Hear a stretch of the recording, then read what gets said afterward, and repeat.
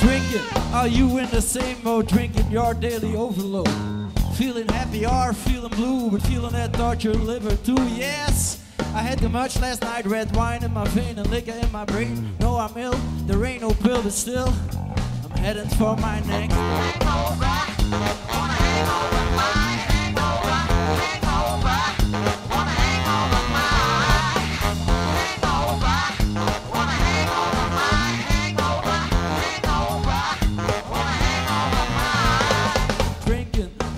Coffee in the morning, thinking never gonna drink no more. Sure, I'll never ever touch that stuff.